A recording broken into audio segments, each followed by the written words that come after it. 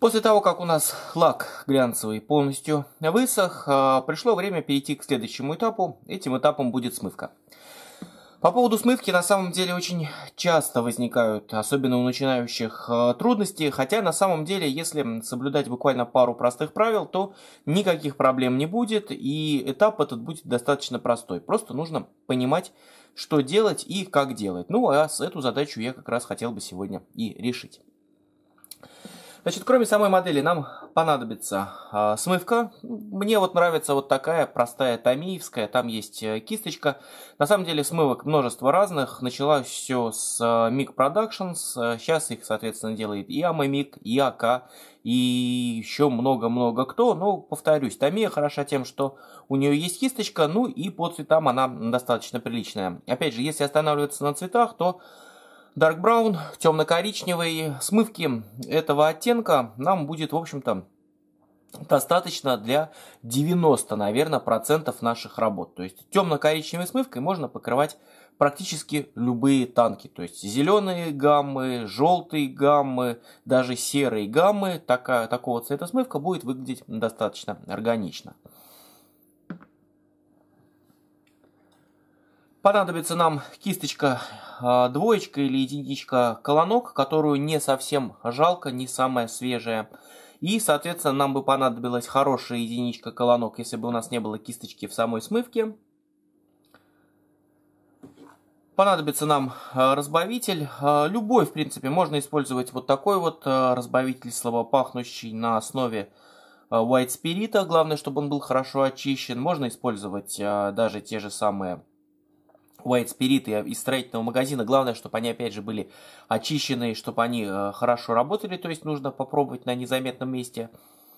Либо, если вы не хотите вонять на всю квартиру, есть вот такое вот решение от АК, Odorless Thinner. Это на самом деле тоже какой-то White Spirit, но просто очень хорошо очищенный, практически без э, запаха. Но, опять же, на мой взгляд, он не такой едкий, как вот этот вот самый, например, сонетовский, поэтому я в основном пользуюсь вот таким. Понадобится нам небольшая емкость, куда мы будем наливать наш разбавитель, желательно стеклянная, чтобы ее не разъела, и обычные салфетки для того, чтобы промакивать кисточку. Смывку как следует промешиваем, желательно туда кинуть металлических шариков, чтобы она была равномерная. Когда хорошо промешали, открываем и сразу именно с томиевской есть небольшой секрет. Вот я покажу, так и боком повернем. Ее нужно вот так вот провести вот эту вот пластиковую палочку о бортик для того, чтобы у нас излишки стекли в банку, потому что здесь у нас могут, может скапливаться смывка, и в определенный момент жирная капля у нас упадет на модель и нас совершенно огорчит. Поэтому, соответственно, нужно вот отсюда излишки убирать. Также при необходимости мы можем убрать излишки и об салфетку. Опять же, главное, чтобы не было слишком большой, слишком жирной капли. После того, как мы считаем, что у нас уже на кисточке смывка достаточно хорошей консистенции, можно наносить на модель. Значит, идеологически, каким образом мы будем действовать? Мы обойдем все заклепки, пройдемся по э, всем э, щелям и впадинам и соответственно, аккуратненько обойдем сварные швы. То есть нам везде нужно выделить рельеф. Вообще надо понимать, что смывка это элемент выделения рельефа. Многие считают, что там раз у меня танк э, новый или парадный, то и смывка ему не нужна. Это решение в корне неверное, поскольку смывка прежде всего показывает игру света и тени и каких-то затемнений в углублениях. Поэтому новый у вас танк на параде или он уже там три месяца где-то лежит в болоте, неважно, все равно смывка именно для подчеркивания рельефа нам всегда будет нужна. Там интенсивность ее вопрос другой, но тем не менее именно чтобы подчеркнуть поверхности, она просто необходима. Ну, соответственно, мы находим какие-то э, места, где у нас есть выступающие части. Ну, вот, например, вот эти вот на ходовой части. Вообще рекомендую начинать с ходовой части, мы все равно, скорее всего, пачкать будем. Поэтому здесь очень удобно тренироваться. Вот мы с бачка подводим и видим, что за счет хорошей глянцевости поверхности у нас смывка сама огибает при легком касании весь наш рельеф. Почему это происходит? Потому что мы хорошим слоем положили глянцевый лак. За счет этого у нас смывка не э, разбегается по всей поверхности, а скапливается в углублениях. То есть именно поэтому крайне необходимо именно тщательно наносить глянец, потому что если бы у нас не было бы глянца, у нас смывка по всей поверхности бы разошлась и превратилась бы в неаккуратную грязь, а нам это совершенно на данном этапе не нужно. Поэтому тщательно наносим глянцевый лак, чтобы поверхность была обязательно блестящая, причем вся, где мы собираемся наносить смывку. То есть, если мы где-то забудем нанести глянец, естественно, этот момент у нас на этапе смывки вылезет. Понятное дело, что если у нас там где-то растеклось не так, как мы хотим, это все тоже можно исправить. Хотя если поверхность у нас глухая матовая, то исправить это будет ну, практически невозможно или очень тяжело. Поэтому перед смывкой всегда убеждайтесь, что у вас танк глянцевый, иначе будет плохо. Ну, собственно, таким способом мы проходим все выступы, э, стараемся на верхнюю часть деталей не заезжать. А, сразу скажу, что на самом деле существует несколько различных а, видений того, как делать смывку. То есть некоторые, особенно частенько я вижу это у авиаторов, просто заливают всю модель, прям вот целиком, а потом ватной палочкой стирают излишек или там ватным диском. Ну, мне кажется, для нашего для брони этот способ не совсем подходит, потому что, во-первых, у нас много мелкой деталировки, которую можно просто оббить, э, если мы будем там что-то ватным диском стирать. Это все-таки не крыло самолета.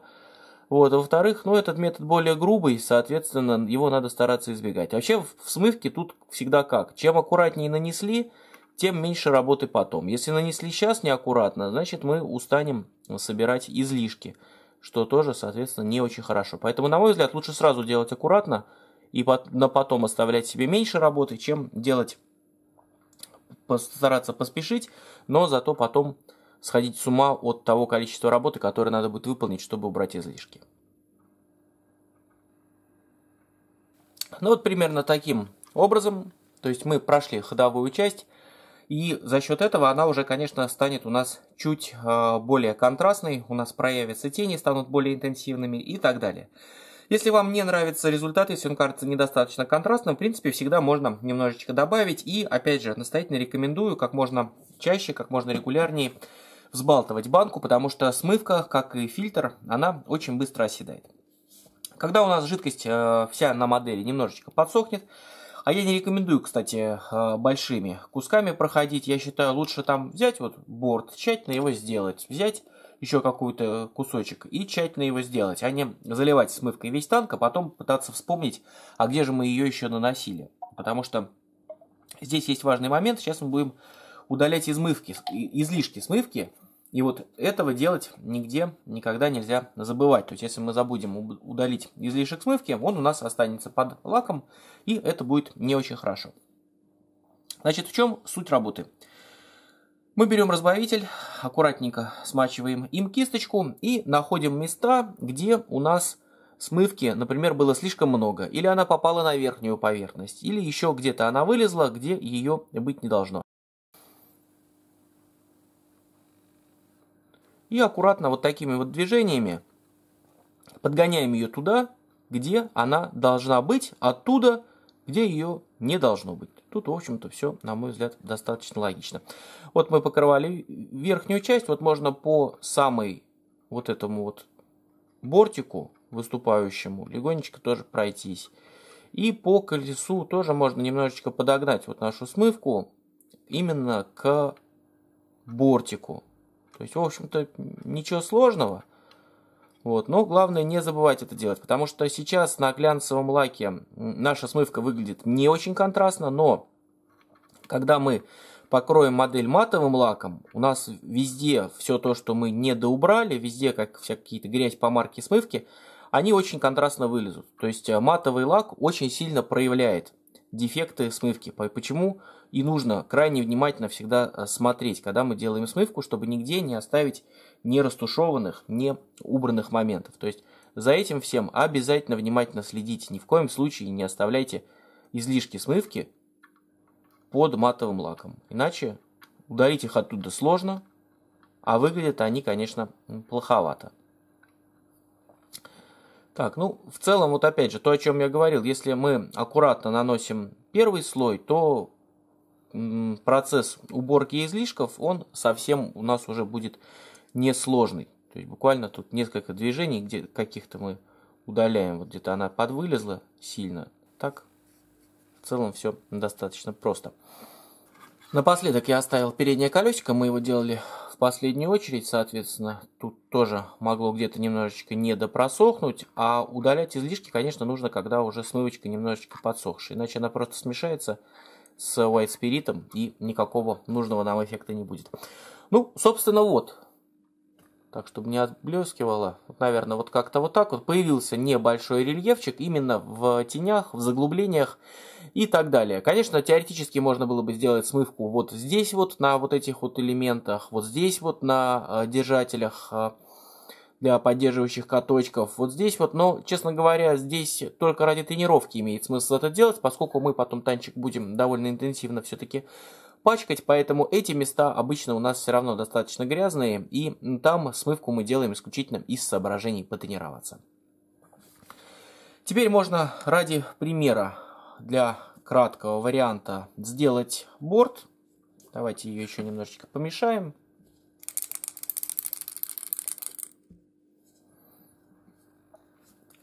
Значит, на борту сделаем мы вот эти вот а, сварные шовчики и держатели, головки болтов. По сварным швам, ну тут все вообще достаточно просто. Мы аккуратненько вот так вот проводим вдоль шовчика с обеих сторон.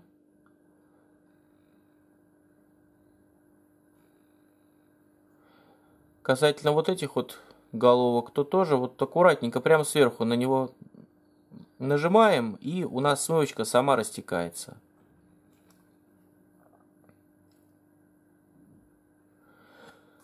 Ну и вот этот сварной шов давайте тоже пройдем для наглядности, чтобы у нас их два было.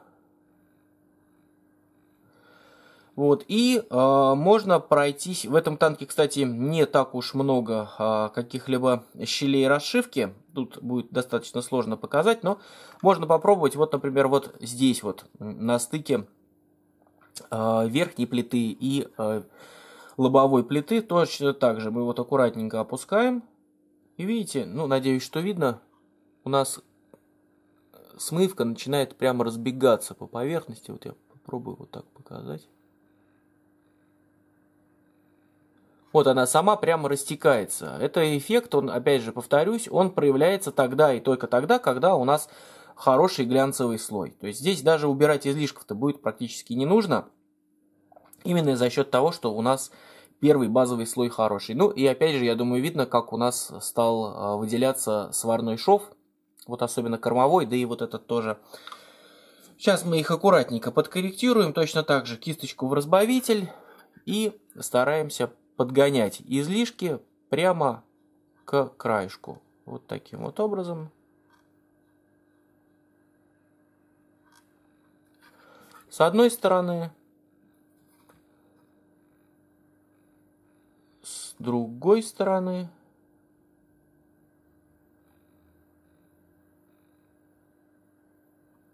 Пока смывка не совсем высохла, она достаточно легко корректируется. А теперь можно аккуратненько по самой верхней поверхности пройтись и удалить именно избыток на выступающих частях, чтобы у нас тень осталась именно в глубинах. Ну вот, примерно таким образом. Опять же, повторюсь, на глянце сейчас очень плохо видно результат.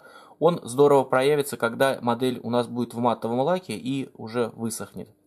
Теперь проходим по заклепкам, тоже просто сверху удаляем излишки для того, чтобы а, на заглублениях они у нас в обязательном порядке остались. При необходимости вот такими движениями подгоняющими подталкиваем смывку опять же к нашей выступающей части. Проходим сварной шов. Убираем излишек здесь. Убираем, если возник излишек вот здесь. Ну и, собственно, по этой части тоже, на мой взгляд, все готово, все, мне кажется, достаточно хорошо понятно. Также вы здесь наносили, э, ну вот тут микропятнышко образовалось, мы его легко удаляем. Собственно, все вот именно в таком э, режиме, именно в таком стиле мы и продолжаем работу по всем оставшимся выступающим частям на корпусе. Теперь сделаем башню. Принцип абсолютно такой же. То есть заливаем в щели, обходим все выступы и подчеркиваем рельеф. Смывочку обязательно еще раз промежуточно взбалтываем. Убираем излишки смывки отсюда с держателя кисточки и, в общем-то, по тому же самому принципу.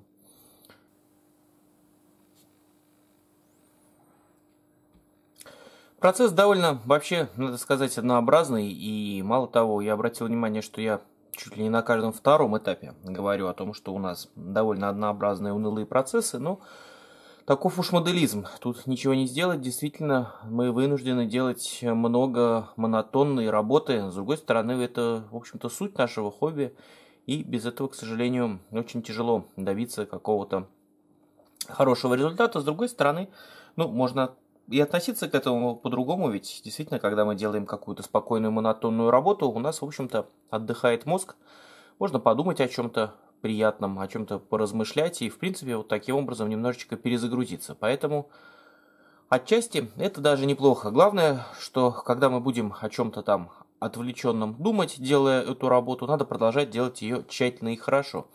А не так, что тяп-ляп мы что-то наляпали, отвлекшись, а потом думаем, как там это все исправлять.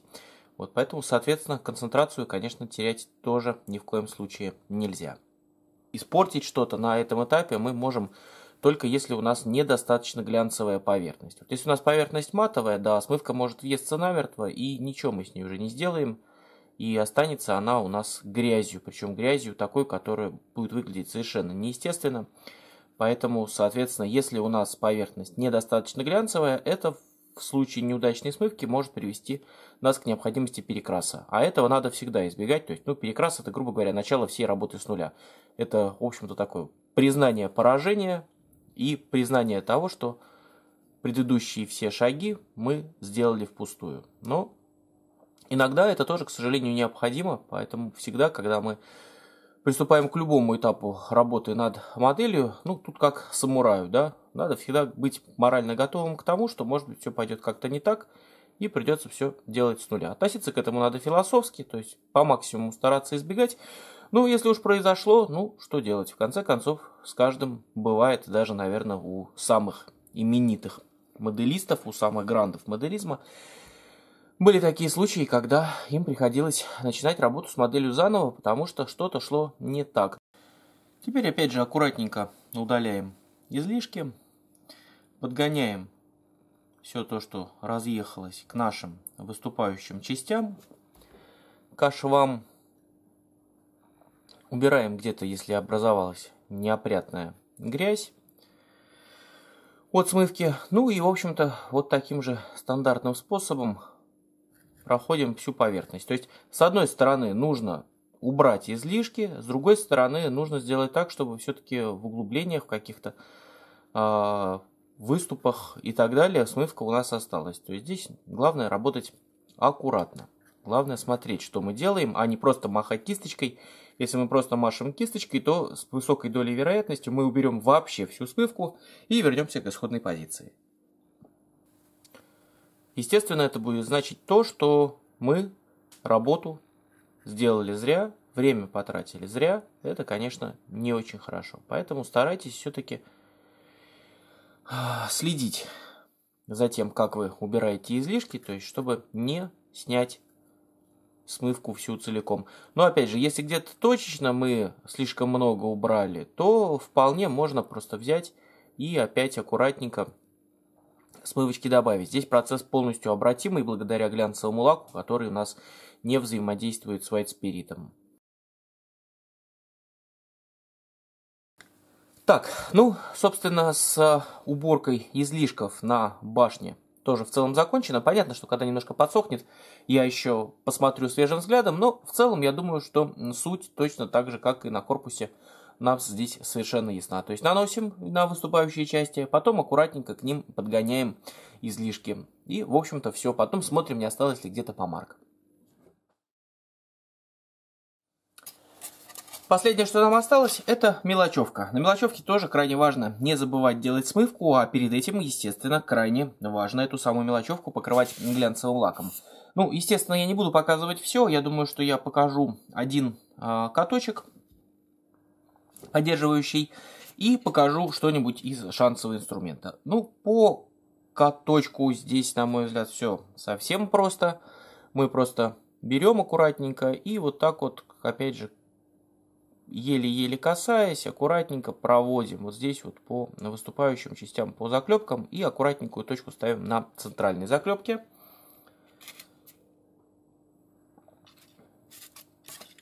Ну и вот, например, на этой ручке тоже можно показать. Мы берем и вот здесь вот около краев, около мест стыков добавляем немножечко смывки. Во-первых, нам это даст нужную здесь тень. Во-вторых, это нам позволит немножечко скрыть границы цветов, если особенно вы их не максимально аккуратно нанесли.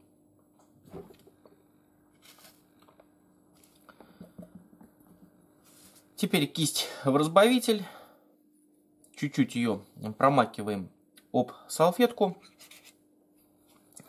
Аккуратно вот таким движением, чтобы у нас кисточка не залезала в самую глубину. Берем. Немножко не до конца подсохло. В данной ситуации это не страшно.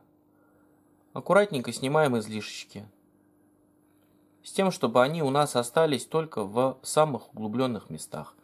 Ну и здесь тоже равномерненько разотрем, что даже если какие-то микроследы от смывки остались, у нас их было незаметно.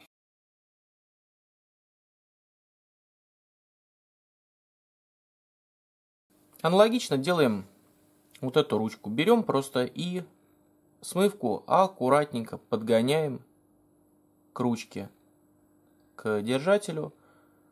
Здесь вот у меня немножечко смывка попала на сами держатели, тоже ее аккуратненько удаляем.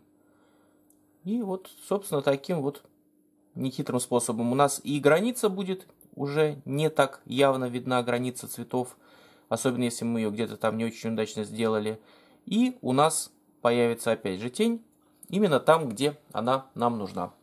Собственно, вот таким же образом мы, соответственно, обработаем оставшиеся каточки, звездочки, инструмент и прочее. Ну, показывать это смы смысла нет никакого, потому что делается там все абсолютно аналогично. В качестве бонуса хотел бы показать еще один способ, как можно сделать смывку. Э, значит, этот способ я называю ленивым, поскольку он требует гораздо меньших э, затрат сил и времени, но с другой стороны и результат, конечно, не такой хороший. Это значит, что он вполне подходит, например, где-то для ходовой части, особенно если мы планируем ее сильно пачкать, где мы не уверены, что все будет видно. То есть на внешних, на явно видных поверхностях, на мой взгляд, этот способ не так уж хорош. И также второй момент, когда он может применяться, это когда мы понимаем, что у нас поверхность совсем матовая, краска от смывки слишком сильно растекается, и, соответственно, нужно сделать так, чтобы смывка хоть как-то собиралась на поверхности. Значит, в этом случае, как мы будем действовать? Мы действуем немножечко так в обратном порядке. Сначала мы покрываем деталь тонким слоем разбавителя. Ну, опять же, важно, чтобы у нас лак хорошо держал разбавитель, чтобы он от этого хлопьями не пошел. Далее мы берем и тонким слоем проходим всю поверхность. Вот где у нас есть выступы, все мы и пройдем. Тут можно даже побольше добавлять, поскольку она достаточно хорошо растекается. И также внутреннюю поверхность, вот эти вот э, выступы, заклепки, вот это все.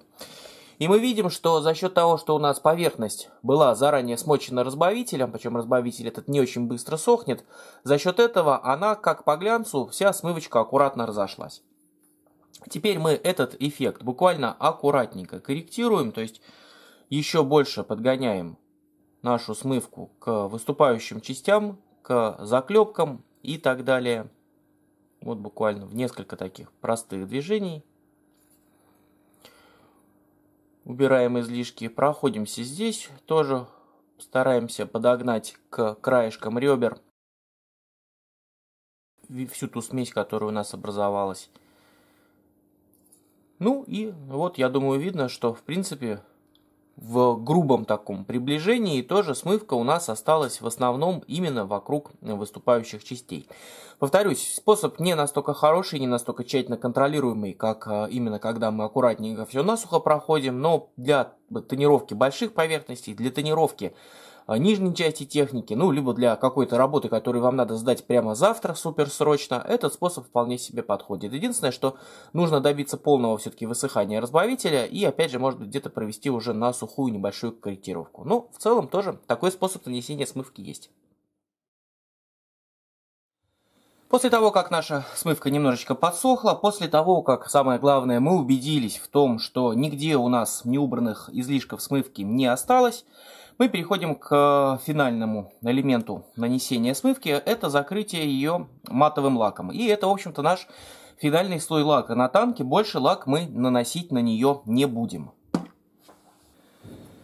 Наносить лак будем при помощи аэрографа, как обычно, разбавитель для акрилов томиевский и томиевский же матовый лак XF86. На самом деле я в последнее время пользуюсь нитролаками, но для начинающих особенно на самом деле лучше э, акриловый, поскольку они более предсказуемые. Проблема акриловых лаков матовых в том, что они могут оставлять белесые точки, если их плохо промешать, соответственно промешиваем очень тщательно. Ну, я уже набрал смесь в шприц, как всегда, мешаем пополам. Тут все стандартно. Перед э, тем, как нанести его в аэрограф, еще раз тщательно промешиваем. Ну и приступаем. В общем-то, совершенно стандартно. Наша задача добиться равномерно матовой поверхности, то есть смотрим на отблеск и следим за тем, чтобы у нас все становилось матовым. Наносим мы лак равномерно, тонкими слоями. Всегда рекомендую работать по панельно, то есть выбрали какой-то кусочек, нанесли. Все время контролируем отблеск, чтобы не было слишком глянцевым, слишком ярким слой нашего лака. То есть э, стараемся наносить равномерно и таким чуть-чуть суховатым, потому что если мы будем надувать мокрый слой, то при высыхании этот самый матовый лак станет глянцевым. В этом, в общем-то, некая проблема акриловых матовых лаков в том, что они являются по сути, глянцевым лаком с матирующей присадкой. Именно из-за того, что большие куски этой присадки начинают скапливаться, у нас появляется белесость.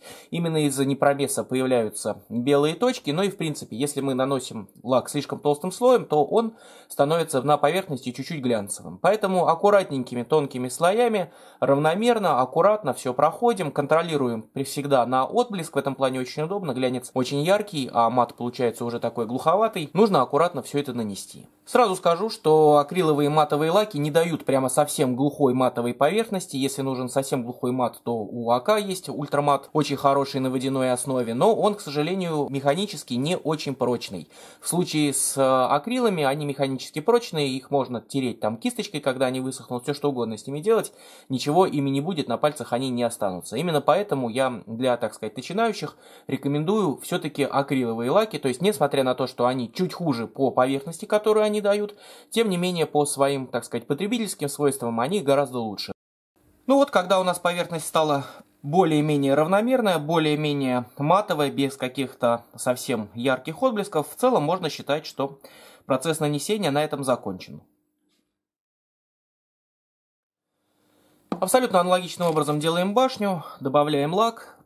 Перед добавлением обязательно еще раз встряхиваем. Я напоминаю, что лак должен быть у нас очень хорошо промешан. И точно так же равномерным тонким аккуратным слоем начинаем наносить. Когда наносим лак, сильно стараемся на гашетку не давить, держать э, аэрограф желательно не очень близко от модели, но правда и не слишком далеко, чтобы он не успевал подсохнуть на лету. Все время контролируем. Если видим, что э, после прохода где-то еще остались глянцевые куски, чуть-чуть увеличиваем расстояние, буквально на пару сантиметров, и делаем еще один легкий такой полусухой проход. Ну, до тех пор, пока поверхность не станет совсем матовая. Если же где-то мы, опять же, у нас прямо мокрый слой получился, даем ему подсохнуть пару минут, и после этого, опять же, сверху с э, более дальнего расстояния делаем еще один небольшой полусухой проход для того, чтобы его перекрыть. Последнее, что нам остается, это мелочевка. На ней точно так же аккуратно делаем тонкий равномерный слой одним проходом. Когда красим мелочевку, крайне важно тщательно пройти ее со всех сторон, нигде ничего не забыть, нигде ничего не пропустить. Хотя, на самом деле, опять же, с мелочевкой чуть проще. Почему? Потому что мы даже перед тем, как ее ставить окончательно на танк, можем со всех сторон на нее, опять же, посмотреть, внимательно найти, может быть, какие-то места, где у нас лак не попал, и их доделать. И еще всегда надо, конечно, учитывать то, что воздух из аэрографа распространяется строго прямолинейно, поэтому нужно крутить детали со всех сторон. То есть э, облако большого, как когда мы грунтуем баллоном, не возникает. Соответственно, нужно со всех сторон все выступающие части, все какие-то выступы и прочее аккуратно пройти, нигде ничего не забыть. Но, опять же, я думаю, технология проста и достаточно понятна. Ну вот и с мелочевкой закончено. Аккуратно тоже одним слоем закрываем. На металлических деталях можно без фанатизма, они в принципе могут и поблескивать. На дереве, конечно, нужно, чтобы поверхность стала абсолютно матовой. Ну вот и наша стандартная рубрика «Что делать, если что-то пошло не так?». Вот здесь вот я на передней части обнаружил нерастушеванную смывочку. Пока у нас все это намертво не высохло, берем быстро кисточку, опускаем ее в разбавитель и аккуратно растушевываем. Пока лак намертво не встал, это все не проблема. Кисточка достаточно жесткая, но ничего страшного. Все должно у нас уйти, и, собственно, вот оно видно, как уходит. Главное не затягивать. То есть, если это сделать в течение там 10-15 минут или сразу же при нанесении, то все будет хорошо. Если затянуть, то лак может стать, и это приведет к весьма неприятным последствиям. Ну и вот, собственно, все очищено. Теперь э, дадим этой поверхности высохнуть обязательном порядке. И после этого покроем еще одним слоем матового лака. Почему нельзя покрывать сразу? Потому что если у вас останется не высохший разбавитель, он все равно рано или поздно подсохнет. Но если он подсохнет под слоем лака, то, соответственно, там останется воздух и будет э, неприятное такое серебрение, такой эффект, как будто что-то есть в поверхности. Нам, естественно, этого надо в обязательном порядке избегать, поэтому тщательно сушим, желательно полдня. И после этого еще тонкий слой матового лака на это место, и все, на этом заканчиваем. Ну и, в общем-то, вот таким нехитрым способом мы весь наш танк покрыли матовым лаком. Ну, возможно, я еще без камеры где-то посмотрю, пару точечек найду, куда лак не попал. Но я думаю, что технология совершенно очевидна и ясна. После нанесения матового лака оставляем всю эту красоту сохнуть, желательно еще на сутки, и переходим к следующему этапу. Следующий этап уже будет практически финальный, это пигменты, и он достаточно индивидуальный в зависимости от времени года и театра военных действий, которые вы выбираете. До этого все этапы были практически универсальными. То есть в целом на вот таком уровне, на состоянии до пигментов, в принципе, работы с моделью, я думаю, достаточно. Все, что необходимо сделать было, мы сделали.